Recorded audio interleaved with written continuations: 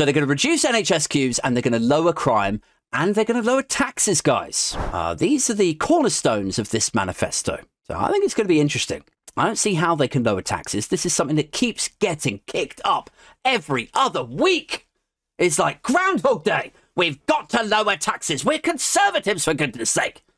We're supposed to be small state and low tax. Why can't we lower taxes? While people with brains are like, why can't you fucking listen?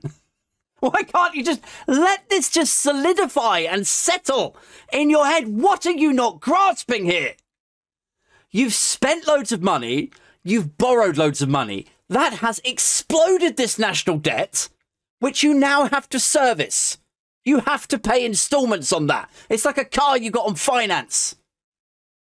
And every year you have to apportion 100% of your GDP on the value of this debt. You fucking moron. That's why there's no money for tax cuts. Because every time you borrow, you've got to start paying it a little bit more back. And that has resulted in the tax burden going up and up and up and up. And people like you, imaginary Tory, imaginary frothing, belching backbencher, are like, I just don't understand it. Like, how are you not getting it? We've got to cut taxes. Oh God. I just I despair, you know?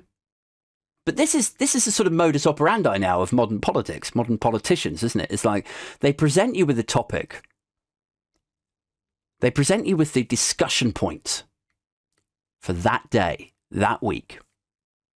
In this case, tax cuts. Next week, stop the boats. The following week, inheritance tax, or, you know.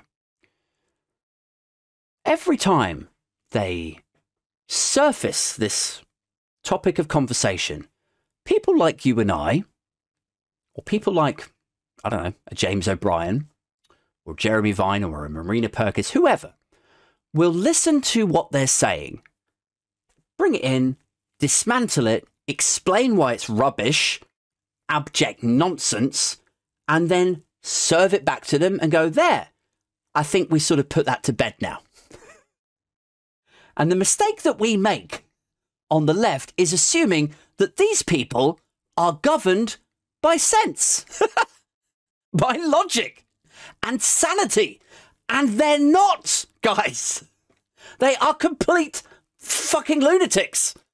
Because they present us a problem or a challenge or an idea like we need to get rid of inheritance tax or like we have to reduce the tax burden. We dismantle it, cut it up, and explain why that's absolute rubbish and why it's actually kind of your fault, guys. And we serve it back to them. And then they don't just, they don't take it in. They don't go like, oh, okay, cool. Thanks for explaining that to me. Yeah, no, I get it now. I understand. Instead, what they do is this is this is what happens, right? We've got to lower the tax burden. Right, okay, well, you, you can't do that. You tried that once before with uh, Liz Truss, Kwasi Kwarteng. Um, it, what happens is then you don't have enough money to service the debt, and then bonds tend to tank. And because pensions are based so close to, pot then pensions start to collapse, and then the Bank of England have to magic all of this money, and then we're all way, way, way, way, way worse off. There's no money to cut taxes. Do you understand? Then this is them. They go, uh, we, we, we, we've got to cut taxes.